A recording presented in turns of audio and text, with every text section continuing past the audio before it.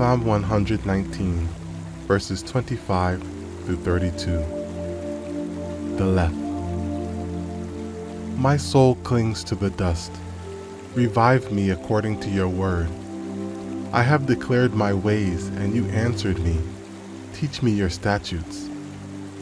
Make me understand the way of your precepts. So shall I meditate on your wonderful works. My soul melts from heaviness.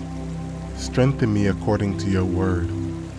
Remove from me the way of lying, and grant me your law graciously.